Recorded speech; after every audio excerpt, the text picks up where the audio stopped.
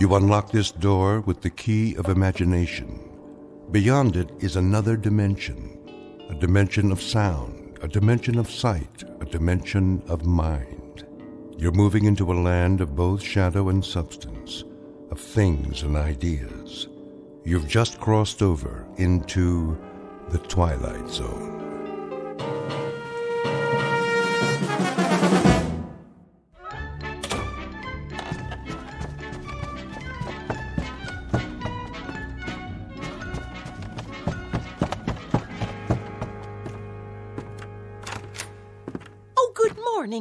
Morning, Morning, Mrs. Sullivan. Off to work? You know it. Oh, Mrs. Sullivan, Yes? I meant to drop off the rent last night. Oh, no hurry. It isn't due yet. I know, but I don't like debts. I'll make sure you get it this evening. That will be just fine. Well, have a good day at the bank. The same as every other day. Oh, excuse me. Were you going out? Just to bring in the paper. Oh, let me get it for you. You don't have to do that. No problem.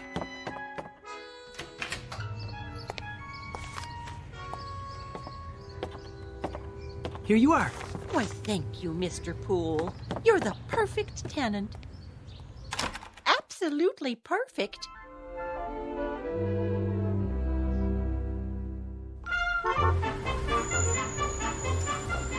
Paper, get your paper. You have the morning sports final? Sure thing. 25 cents, one quarter of a dollar. Here. Thanks, pal. Paper, get your paper. Who wants a paper, morning final? One here, Marty. Sure thing, Mr. Poole. Always got a copy for you. Let me see if I have the right change. Yep. Here you go. Hey, look at that. Something wrong? Your quarter.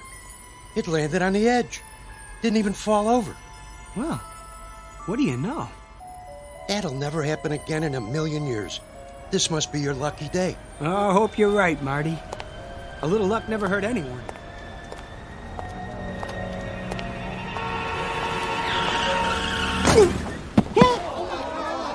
Oh, that poor man. What happened? That car had hit him. Did you see it? Somebody call an ambulance.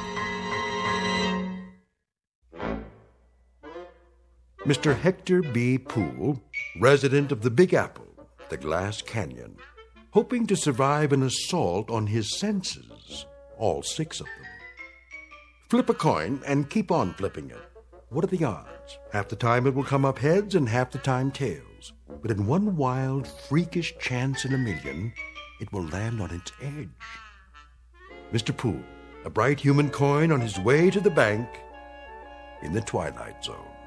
And now, The Twilight Zone and our story, A Penny for Your Thoughts, starring David Eigenberg with Stacy Keach as your narrator.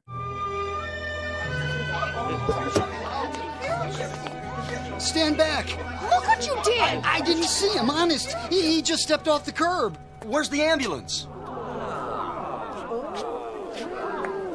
Oh, oh, what happened? Easy, mister. You all right? Oh, I think so. Oh, just give me a hand. Look, lie still. Uh, I'll get a doctor. Oh, no, no, no, no, no. I, I, I don't need a doctor. I mean, if you'll help me get up. Uh, You sure? You ought to take it easy. At least get an x-ray. uh, why? No scrapes, no scratches, no broken bones. I seem to be fine. He should stay down. I would. Something like that, he could sue the guy's pants off. Pardon? Oh, I, I just said, uh, wait till you get to the hospital. You, you never know. No, no need for that, really. Oh, you don't know how sorry I am, sir. Oh, no harm done. I swear, I didn't see you step off the curb. If you were hurt, God, I could never forgive myself. You clumsy idiot. I wish you'd broken your fool neck. What did you say?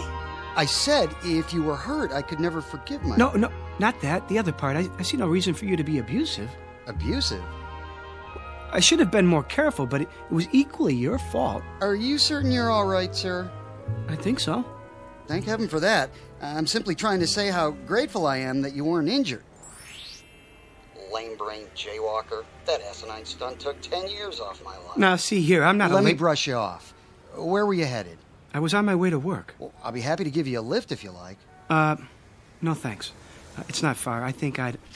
I'd rather walk.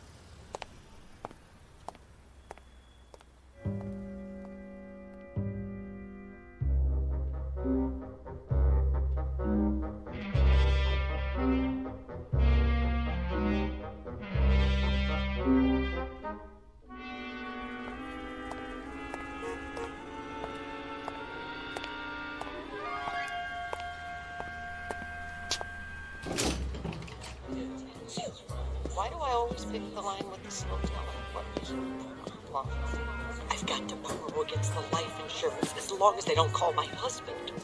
Wow, I hope they don't check my credit history. Did I turn the iron on?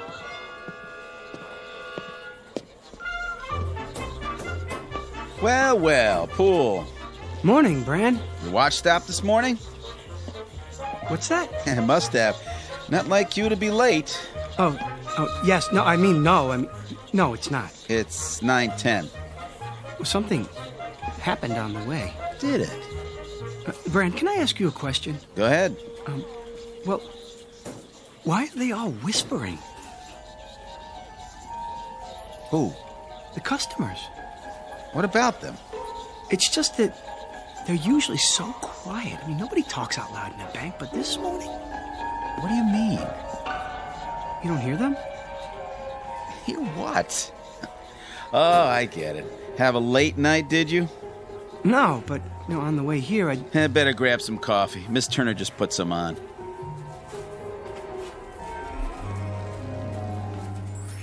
Boy, look at him. Like he doesn't know which end is up. Oh, if Bagby sees him this way, he's finished. Good riddance. Oh, where is he? Huh? Mr. Bagby. In his office. Where else would he be? Oh, thank you, Brand. Well, I better get started. Yes, you do that.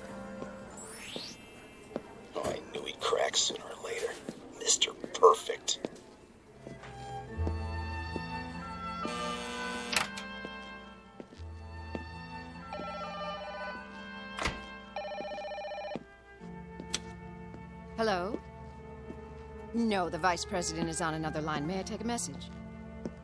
Very well. Eileen. Morning, Hector. How, um, how long has he been here? A half hour. I wouldn't bother him, though. He's got an important call. All right, I'll wait till he's finished.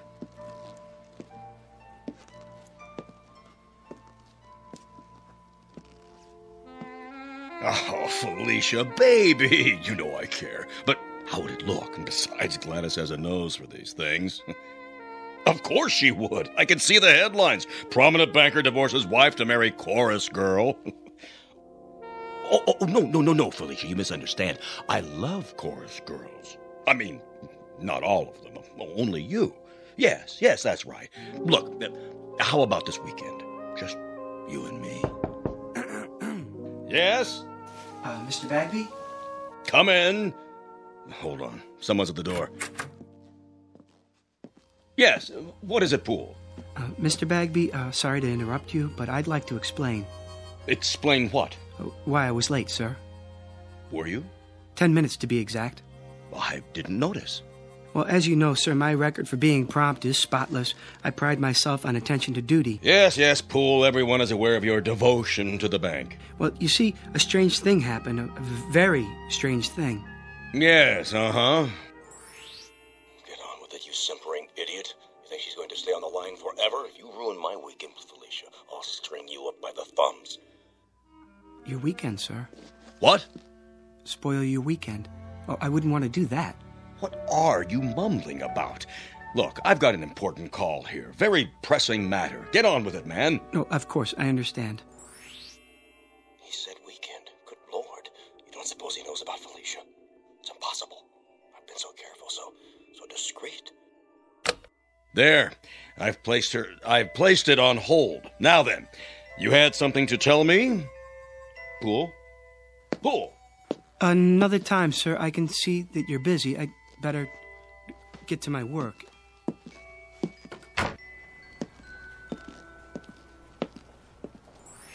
Poor Mr. Poole. He looks so tired and pale.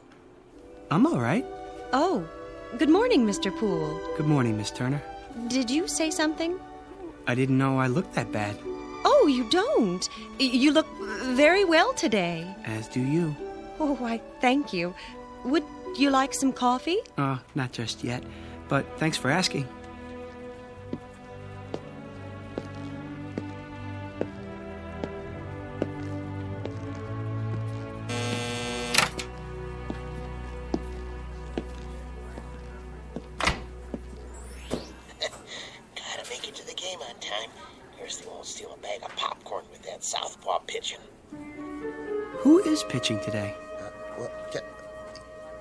Say something?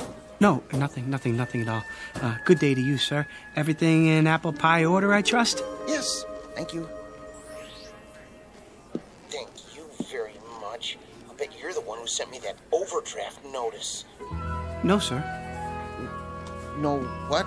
No, I don't have anything to do with overdrafts. I work over there in the loan department. You do? Just see one of the tellers. I'm sure that they can straighten it out for you. Sure. sure. Uh, I'll, I'll, I'll do that.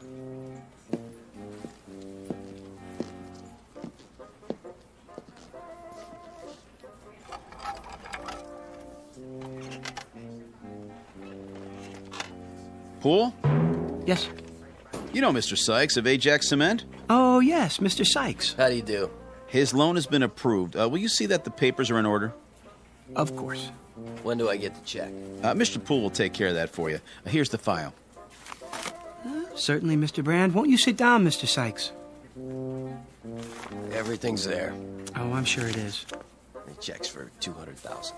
I see. A loan for $200,000. That's quite a sum. Expanding the business, Mr. Sykes? That's right. Wrong. Uh, well, which is it? Huh? You are aware that this loan must be repaid within 90 days. Sure I am. In full.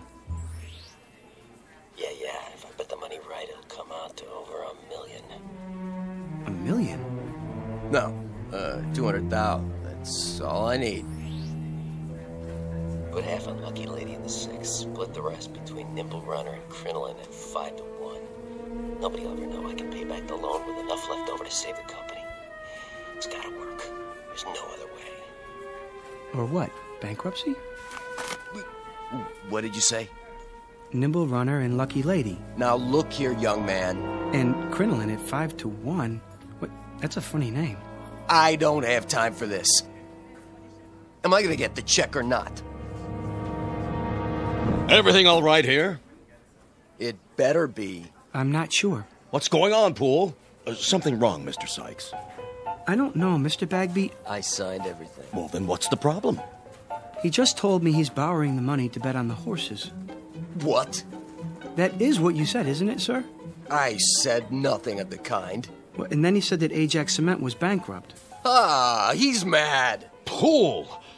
Doubtless there's been a mistake. There certainly has. If you'll come with me, I'll correct it at once. I'll talk to you later, Poole. Uh, but, Mr. Beck. In my office. Yes, sir.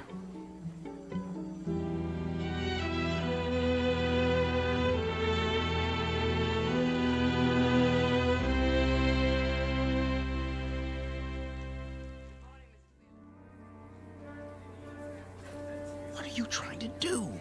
My job. He said. I heard the whole thing. I'm the one who took his application. What's going on, Poole? Will you tell me that? What? If if I could tell you, I would. But I honestly don't know.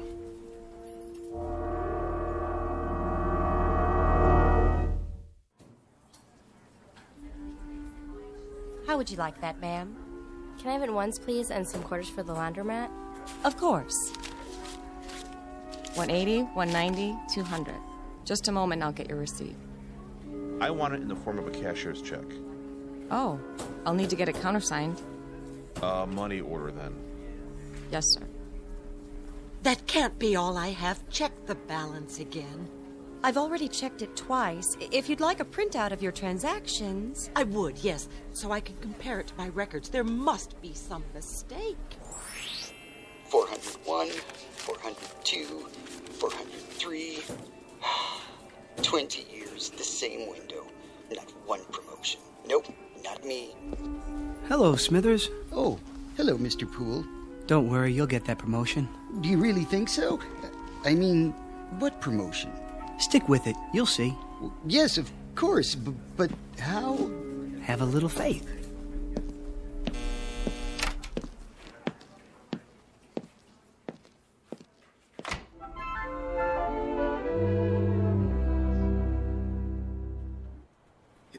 Happening. It is? Yep, old nose of the grindstone seems to have flipped out. Who are you talking about? Poole, who else? He's been acting goofy all morning. Well, why shouldn't he? He's entitled to once in a while. He does all the work around here. Guys like that are all alike, gutless wonders. Put the pressure on and they go to pieces. Know what I mean? I'm not sure that I do. You phony. Don't you know a real gentleman when you see one? Got any of that coffee left? Oh, uh, hi, Poole. Certainly. Here you are. Smells good. It's fresh. Nice and hot, too. You do all of the work and get none of the credit. You should speak up more and assert yourself. But I guess that's not in your nature. Miss Turner, Yes? there's something I've been meaning to say to you, There is? and I hope you won't be offended. Oh, I'm sure I won't. But, well, Yes, Mr. Poole? I want to thank you Thank me? for your kind thoughts. I don't think I quite understand, Mr. Poole. Romancing the help, eh, Poole? Brand, please. Well, who can blame you? Miss Turner's the prettiest girl in the new accounts department. Just saying absolutely nothing. I haven't seen such an aggregation of beasts since the last time I went to the circus. Oh, I'm sure that's not true. Yeah, a lot of action around the old coffee station lately. That's no surprise. Not much chance for socializing on the job, is there? Brand, if I could get a word in. Yeah, go ahead. You were saying, Mr. Poole? She's probably a tiger. Let the sweet prim ones have their cages and they revert to the jungle. That's enough, Brand. Hey, watch it! Oh, sorry. You spilled coffee all over my shirt. I'll get a napkin. It was an accident. No, it wasn't. You did that deliberately. He said it was an accident. I'll see you later about this Poole. Good for you. I really didn't intend to do that. I'm sure you didn't. He was only joking. Maybe he was and maybe he wasn't, but he sure had it coming. Well, I suppose I should get back to my desk, Uh, yes, and I suppose so. or else it will be time for lunch. Will it? I mean, oh, it will. And then we'll all be having our lunches, won't we? I, I guess you're right. I mean, those who brought them. And those who didn't will go out somewhere. For lunch, I mean. Alone or together. Yes, yes, they certainly will. Well, back to the old grindstone. It's been nice talking with you. Nice talking with you, too. Bye now. Uh, bye. Oh, uh, Miss Turner, Mr. Poole? one more thing. I hope, Yes? I hope you have a nice day. I feel the same way. Exactly. Such a gentleman.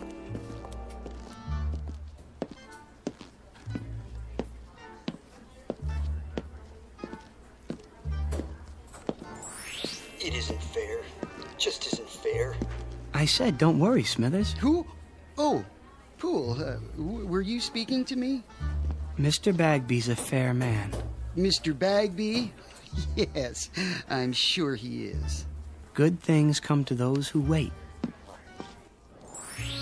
What's he watching me for? Oh, no reason. Don't let it distract you. They'll be sorry. Not much longer now. At 4.30 this afternoon, I go into the vault like I always do. I'll take my briefcase with me. No one will suspect a thing. I'll fill it with currency and be on a ship to Bermuda by nightfall.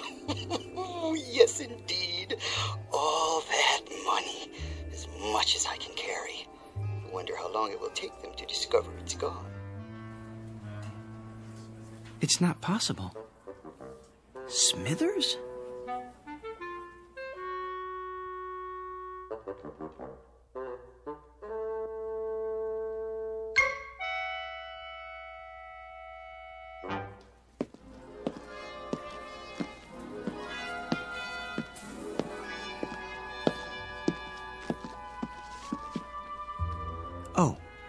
Miller, Hi there, Mr. Poole. got a minute? Sure do. Pretty quiet morning. Is that what you call it? Well, as opposed to payday, then everybody and his brother shows up. Get a little rowdy sometimes, trying to cut in line and everything. But I keep 'em in order. Teach 'em respect for the uniform. you can count on me. I know I can. That's why I wanted a word in your ear. What's up? How long have you been a guard here? Uh, quite a few years now. Get my pension before long.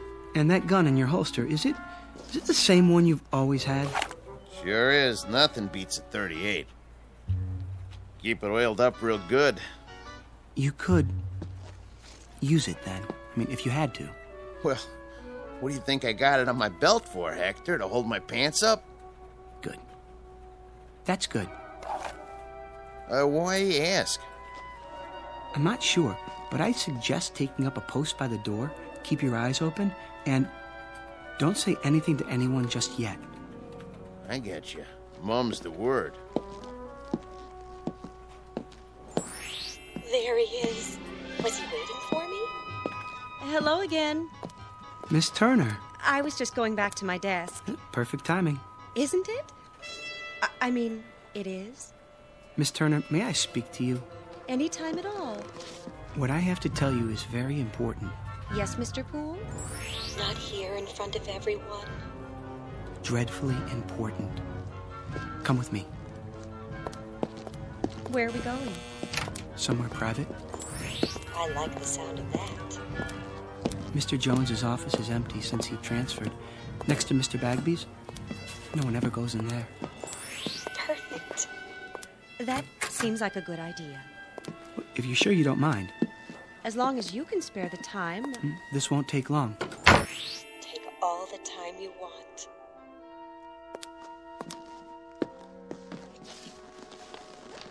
Well, what is it? You'll think I'm crazy. Is something wrong? Terribly, and I don't know who else to talk to. I'm here. Miss Turner, I keep hearing voices. People talking, their lips don't move. But I can hear their voices clearly. I've got this ringing in my head. Oh no. Well, it's, it's not what you think, Miss Turner. I mean, I, I can read people's minds. I don't know if I can help you uh, with a thing like that. I'll prove it to you. Think. Think something. Anything at all. Well, I have to hand it to him. This is an original approach. Why did it take him so long to gather up his courage? Because it only happened this morning. What did? At least that was the first time I noticed it. He didn't notice me until this morning. No, not you. The voices. Mr. Poole, They won't stop. perhaps you should lie down for a few minutes. Mm, Maybe later. I'm trying to tell you something. I know you are. No, this is serious. Do you think I enjoy hearing people's thoughts? I'm sure I have no idea. Well, try to imagine. It's like seeing people with their clothes off. Which people would that be? Well, uh, Miss Turner, I, I have reason to believe that someone may try to rob the bank this afternoon. Mr. Brand was right. He's coming unglued. I am not unglued. It's true. I mean, at least I think it is. You heard them say that. Well, in a manner of speaking. Well, then, in that case, you should do something about it. But what if I'm wrong? You have a responsibility to the bank, to the stockholders and depositors. I suppose I do. We could talk about it over lunch. I mean, one could, uh, two people, whoever they might be, if they wanted to, that is. Otherwise, just one, alone, talking about it to himself. Uh, Of course, that might be a bit lonely, for some people at least. Unless. There's no time to waste. No, definitely not. I have to get out of here. Why? I mean, what's your hurry? Have we finished our conversation? I, I thought. I've got to tell Mr. Bagby.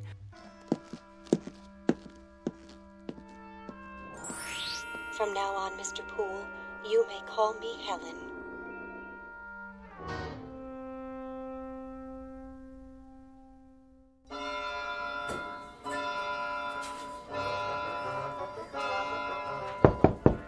Come in. Mr. Bagby. Oh, there you are, Poole. I want to talk to you. Sir, I. I'm worried about you, Poole. About me. But, but, sir. I've always considered you one of my best men. So why, Poole? Why what? Just tell me straight out. We lost the Ajax cement account this morning because of that nonsense a while ago. Something wrong at home? The wife, perhaps? I'm not married. Oh, well, something's bothering you. Yes. Have a seat. I'd prefer to stand. Then out with it. Well, uh, I don't know how to put this, Mr. Bagby. Speak up, Poole. I'm with you. You won't believe me. Of course I'll believe you. You're as honest as the day is long. Well, you've been like a son to me. Well, a, a son in law, at least. If you were, which you're not, legally speaking. But nonetheless. Mr. Bagby, Mr. Smithers is. is. Smithers? Well, what about him? He's planning to rob the bank.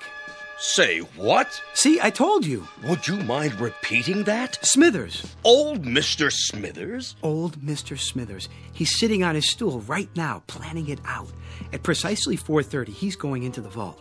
He does that every day. Exactly. But this time he'll have his briefcase with him and he'll fill it up with banknotes, as much as he can carry. And by tonight, he'll be on a boat to the Caribbean. How do you know? Um, I heard him talking about it. But he's one of our oldest and most trusted employees. Well, he was here when I took over the bank. I absolutely refuse to believe. I swear it, sir. He has it all worked out. Wait a minute. I take your point. Who's the one who ends up stealing the company funds? Isn't it always the most trusted employee? The man you'd least suspect? The man who's completely reliable for years until that one moment when everybody relaxes their guard and. Gotcha! He strikes. Good work, Poole. I wish it weren't true. I sort of admire Mr. Smithers. He's always there, steady as a rock, going his own way. I wouldn't have believed it if I hadn't overheard it myself. Well, no time for sentiment. Quick now, tell me the details. Um.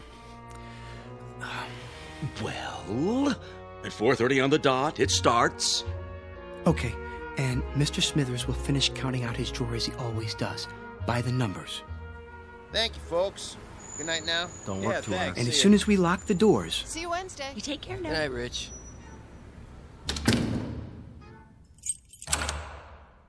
he'll close up his cage, count down the drawer. 73, 74, 75, plus the bills. He'll stand up and go to the vault with the deposit, as he always does. The last teller with his briefcase.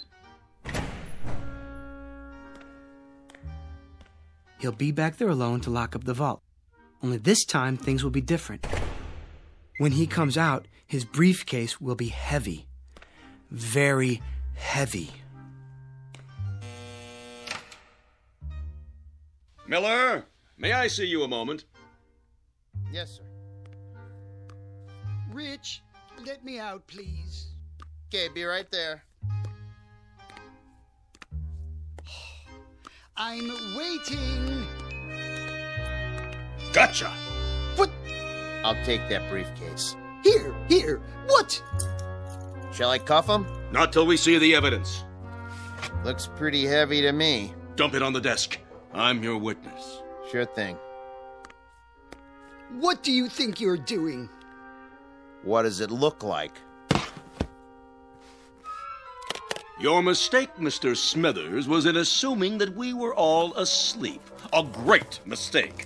But nothing gets by this institution. As a matter of fact, I've had my eye on you for a long time.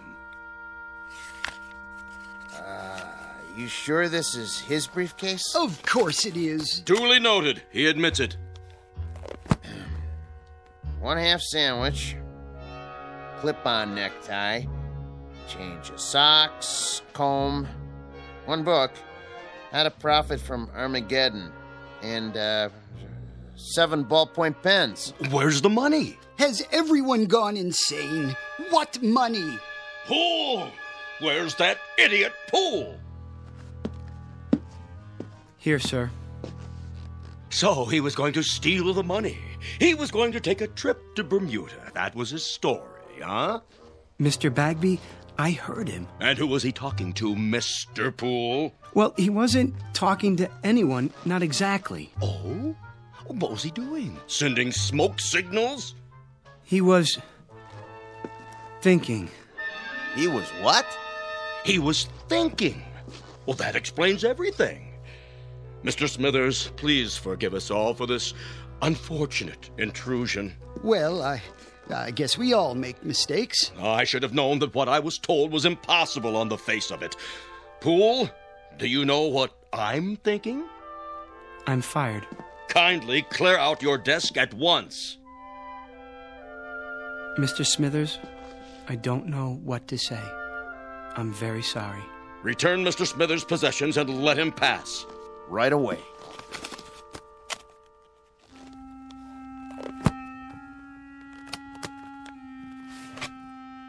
How did you know?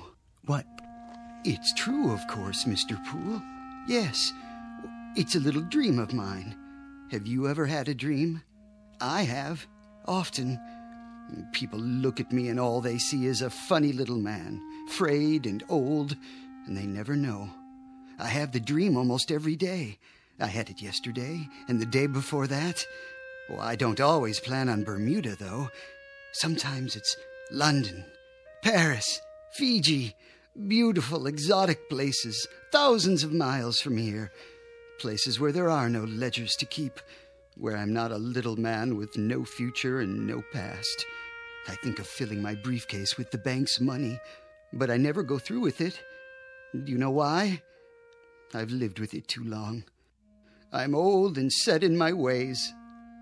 And besides, Mr. Poole, I'm a coward. Smithers, please. Will you open the door now, please, Rich? Sure. Uh, take care of yourself.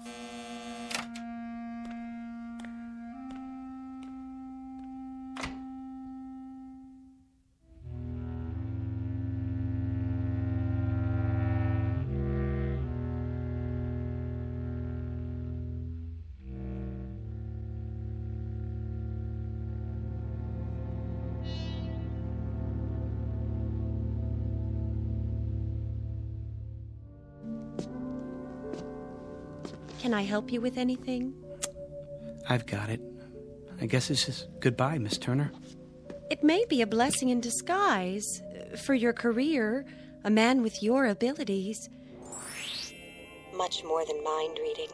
Strange delusion. But with the proper medical care, it'll go away. It's not a delusion, Miss Turner. There, you see, I can read your thoughts. But how? Until this morning, everything was normal. I was happy. Well, it, at least I wasn't unhappy. I had my friends, my job, and now this. I thought it was a gift. Well, it's no gift. It's an embarrassment. It's been nothing but trouble to me. I never imagined people were the way they are. You know, we do things without thinking about them, and we think things without the slightest intention of doing them. I've learned one thing people are not what we think they are. Poole! Oh, thank heaven I caught you. That was the Ajax Cement Company on the phone. Mr. Sykes has been arrested. I know, for gambling with the company money. I tried to tell you that earlier. $200,000 if that loan had gone through. Mr. Poole, about your job. It's still yours if you're interested. Why, that windbag. Mr. Poole, if you can really hear me, you're wasted in that job. If you let him take you back on the same terms, you're crazy. Everybody knows you should be in charge of the accounts department. Well, what do you say? Well, everyone knows I should be in charge of the accounts department, Mr. Bagby. In charge? Good. That would mean he'd move into Mr. Jones's old office. That would mean he'd. I'd move into Mr. Jones's old office. Now, really, Poole. This is absurd. What am I standing here wasting time for? Don't let him bamboozle you. Felicia's waiting. Man, oh man, what a weekend this is going to be. Stand up for yourself. He needs you more than you need him. Uh, would you excuse us, Miss Turner? We have some business to discuss. All right, if you're sure. I'm sure. Business? What business? The business of Felicia and your wife, Gladys. What? I know all about it. I know where you're meeting her and when. It's impossible. No one knows about the trip or the apartment on Riverside Drive. Riverside Drive, Mr. Bagby. Am I right? Oh, all right, you win.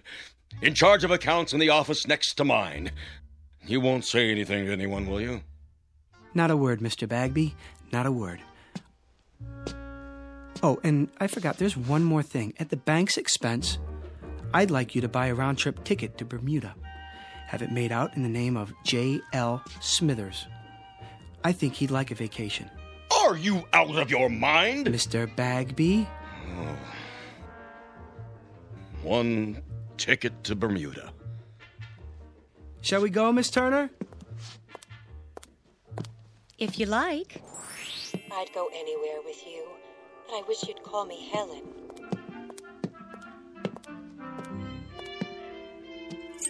Have a good night, folks. We'll try.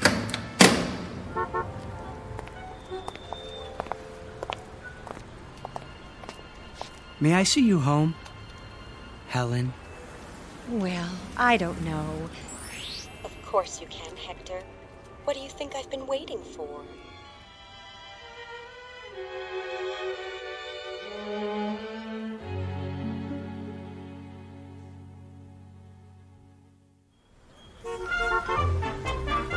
Paper, get your afternoon paper. Latest stocks. Oh, just a second. Do you mind? Not at all. Oh, hi, Mr. Poole. Well, was I right or was I right? Was it your lucky day? I'd say so. Uh, give me a paper, will you? Sure, this one's on the house. Oh, no, no, no. I don't like to owe anybody. Heads. You win. Hey, why'd you do that? I had that other quarter standing up all day, and nobody knocked it over till now. Well, I guess if you're the guy who stood it up, you're the guy who can knock it down. There goes your luck. Could be it's just beginning. Paper, get your late edition paper. What was that all about? Oh, nothing. Wait. What is it? Think something, Helen. Think anything. Oh, I am, believe me.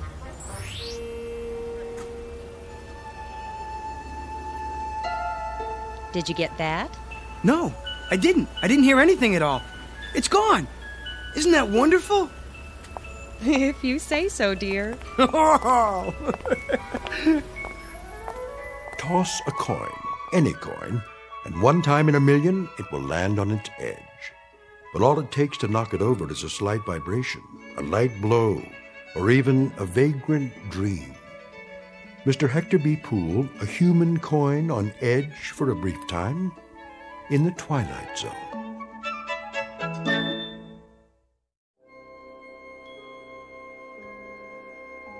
Hi, this is Carl Amari, producer of the Twilight Zone radio dramas. I'd like to take a moment to tell you about our official website at twilightzoneradio.com where you'll get the latest news and information on these Twilight Zone radio dramas. Plus, at twilightzoneradio.com, you can digitally download three free episodes or any of our episodes for only $1.95 each. In this age of ever changing technology, we've decided to make these episodes instantly available to you by making the Twilight Zone radio dramas a digital download only series. This means that this series will no longer be offered on CD. The CD collections at our website are now being offered while supplies last at buy one, get one free. So be sure to get your favorites before they're sold out. Be sure to visit us often, and I'll see you in the zone.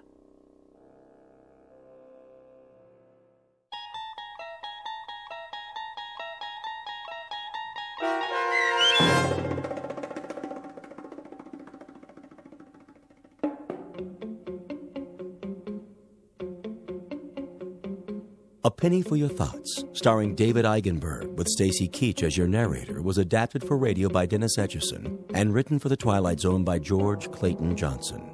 Heard in the cast were Michelle Graff, Doug James, Jamie Barron, Jeff Lupetin, Kurt Naebig, Joby Cerny, Fernette Lebo, Peggy Roeder, Alex Sopner, Carl Amari, Karen Olson, Tracy Hernandez, Christina Verba, and Vince Amari. This copyrighted radio series is produced and directed by Carl Amari for Falcon Picture Group. Sound design and custom Foley effects for The Twilight Zone by Cerny American creatives Bob Benson, Craig Lee, Michael Slaybach, and Matt Sorrow. To learn more about the Twilight Zone radio dramas and to contact us, visit our official website at twilightzoneradio.com. Doug James speaking.